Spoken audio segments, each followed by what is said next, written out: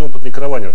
Э, скажи, пожалуйста, вот смотри, что вот лучше все-таки купить? Автодом, чтобы была легковая машина? Или лучше, все-таки лучше купить, может быть, какой-то один автодом, типа Калифорния, например, там, типа или минивэна такого, или, например, Кастенвагена, чтобы на этой машине и на работу ездить, и в то же время в путешествие?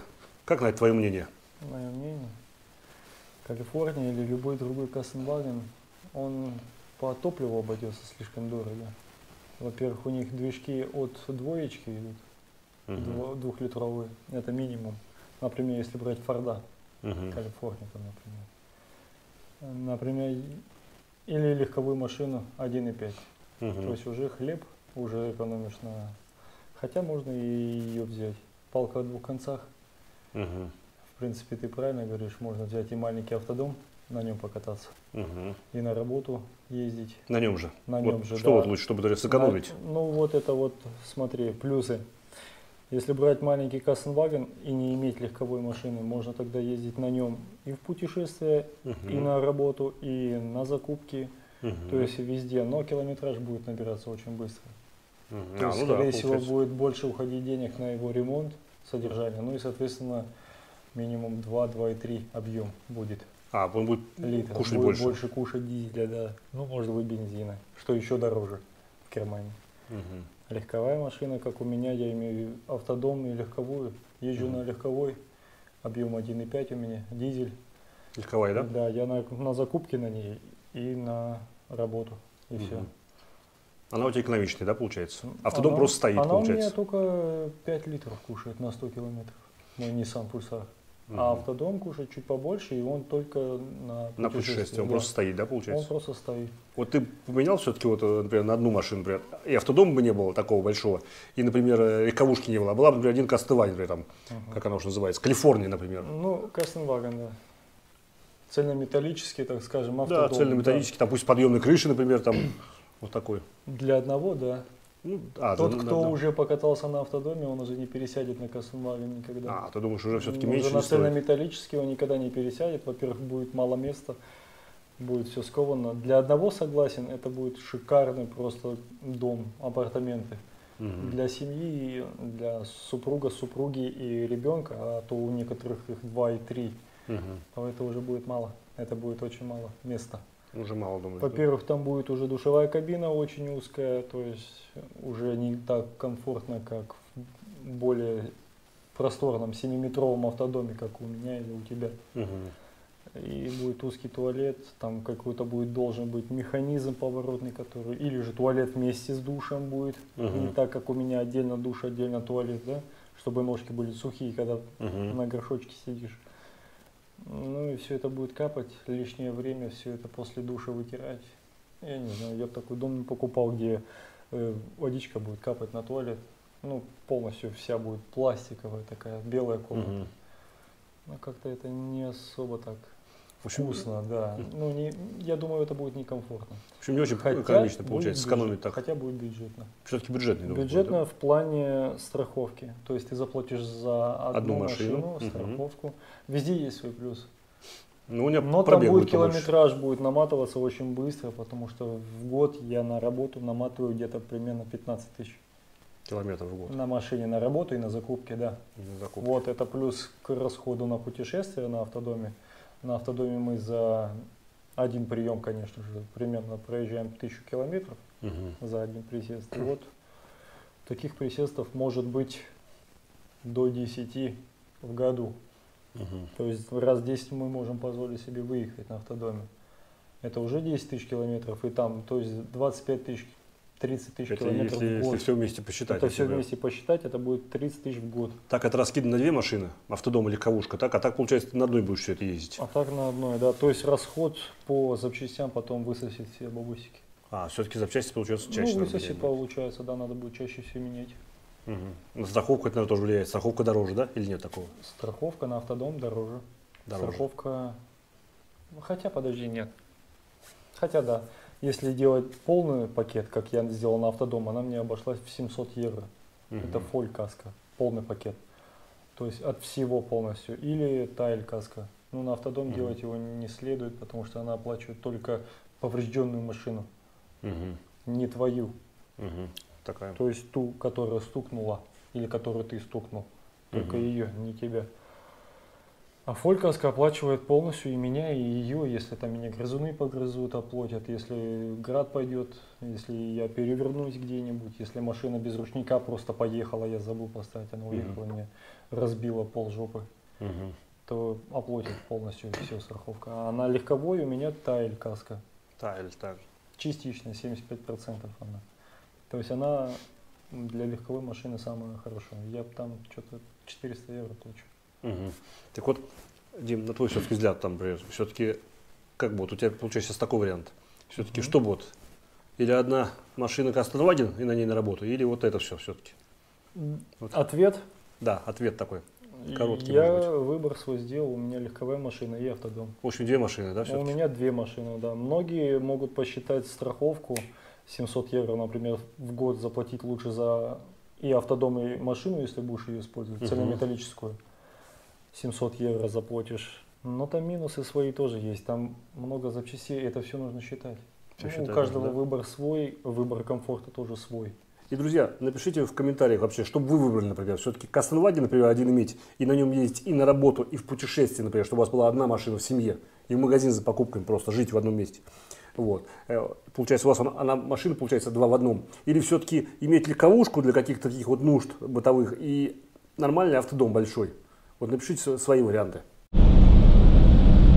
Итак, друзья, я уже отъехал от Карсруя, уже уехал от Тюбингена. Не стал сегодня заезжать в Штутгарт, уже в Штутгарт несколько раз был.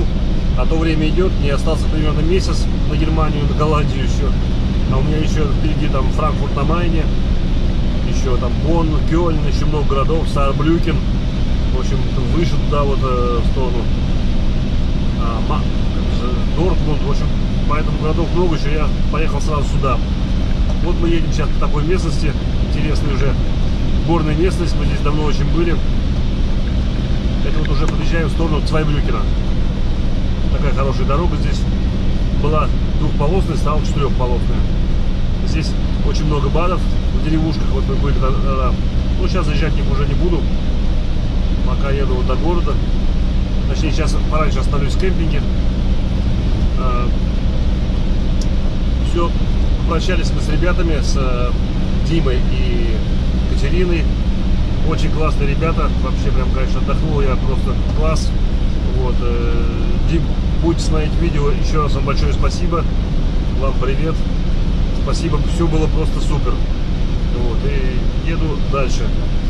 Конечно, интересная была ситуация, как только встал я на автодоме. Сразу же на следующий день мы, когда с Димой ушли гулять, точнее даже через день, через день, пришли, по- пришла полиция, уже кто-то, видно, настучал, что тут стоит автодом чужой, на чужих номерах, чтобы убрал, кто такие, кто чего. В общем, одним словом, здесь сразу же все проверяют, откуда чего, чьи люди. Вот. Поэтому так интересно достаточно было. Не прошло и двух дней. Как сразу стуканули. Ну, вот такая вот Германия, такая страна.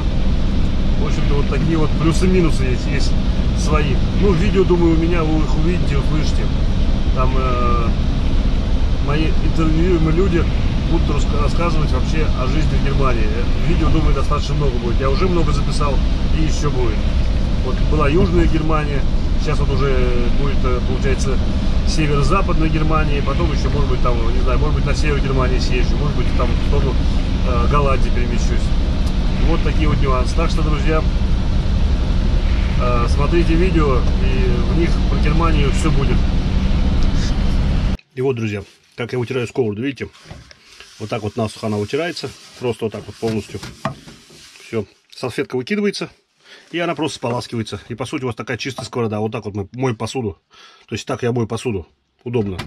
Итак, друзья, проснулся вот здесь около леса. Я уже подъезжаю в сторону Сарбрюкена.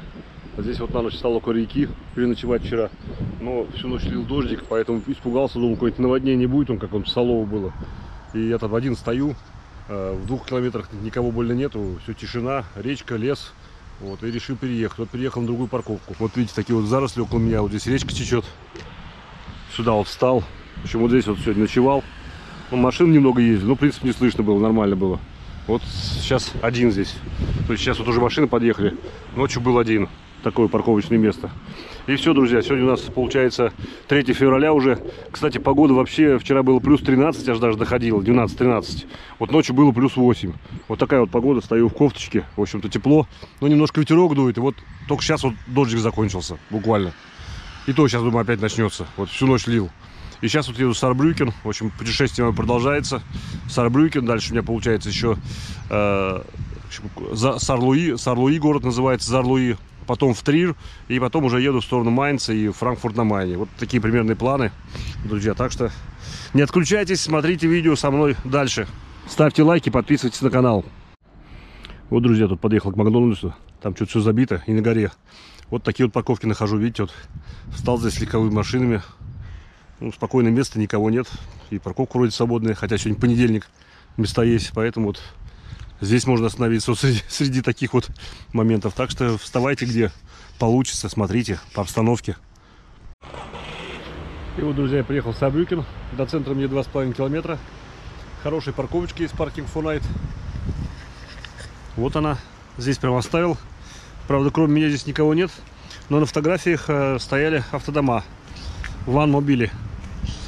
Кастенваген, точнее говоря вот на этой парковке. Ну, видно, разные сезоны, сейчас никого нету. Вот парковочка забита, все достаточно. Хотя сегодня понедельник, в общем-то, обед уже вот, ну, место есть. Поэтому можно вставать, спросил, сказать, что бесплатно. Поэтому вот можете приезжать. И еду погулять в центр. Итак, друзья, я подъезжаю к центру. Небольшой город. Вот такие города самые такие удобные для посещения и посмотреть интересно, и парковки есть недалеко от города. И не нужно 5-6 километров фигачить на велосипеде, если где-то с краешку поставил. Очень удобные. Сарбрюкен самое то на эту тему. И вот, друзья, очень быстро подъехал к центральной кафедрали. Часы на ней показывают без 10 час.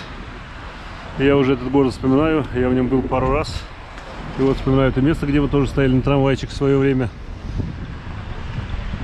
около другой вот, можно назвать так, церкви с часами тоже.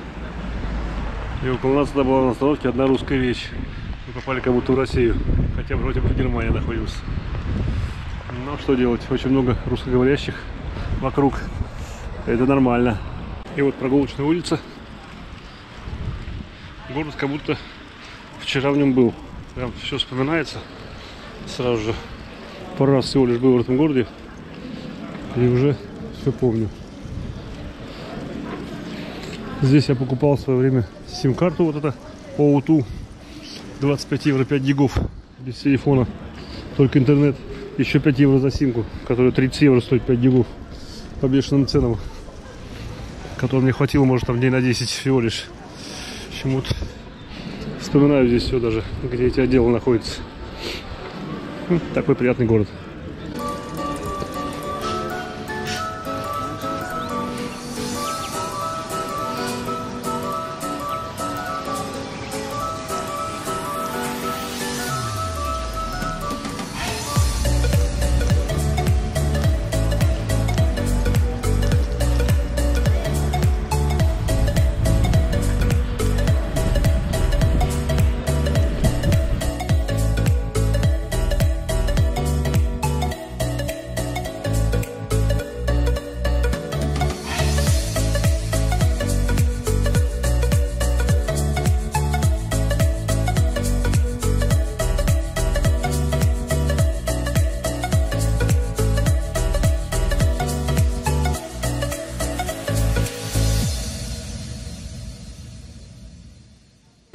Что я здесь помню, со стороны Франции, Сарбрюкен, э, был отель Days Inn, очень недорогой. Что-то помню, он стоил всего лишь каких-то, по-моему, 36, то ли 43 евро ночь. Мы там вот ночевали, именно в французской стороне Самбрюкена. Ну, точнее, части города. Поэтому, друзья, рекомендую, кто здесь будет оставаться. Вот со стороны Сарбрюкена, со стороны Франции. Очень дешевый отель Days Inn бюджетные, то есть, ой, не Дейсин, а и, без баджет, перепутал. Дейсин это в Америке. И без баджет называется. Баджет это синенькая такая.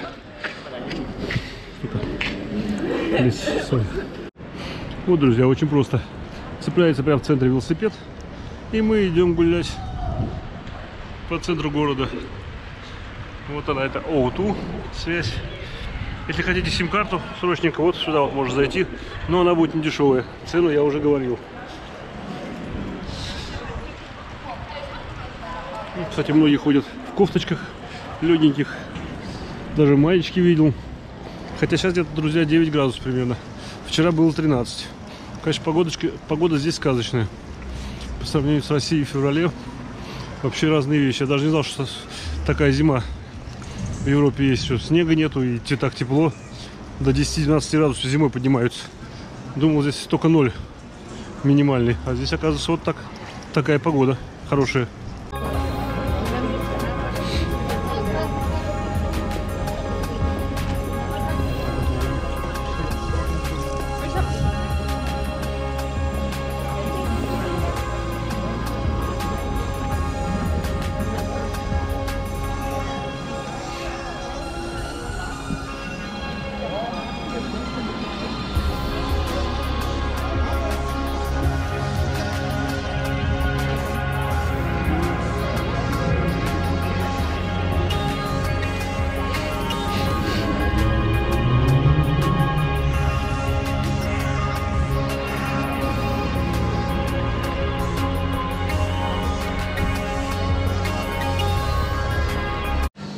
И вот, друзья, мой любимый капучино в такой большой чашке стоит 2,85. Кстати, такие цены хорошие здесь. И вот чизкейк тоже евро 95. Вообще Такой ценник нормальный. Такое приятное местечко. Здесь сразу вон и лифчики продаются. И трусики, и женское белье, и сразу же кофе можно попить. В общем, так классно сделано все. Интернет. Такая приятная барная стоечка. Такие вот местечки есть, и, кстати, нормальные цены. И как хочу сказать, друзья, что в Германии капучино мне очень нравится, очень хорошо делают. Конечно, он подороже, чем в Испании, но очень вкусно. Друзья, ссылка на канал Дмитрия будет в описании. Подписывайтесь.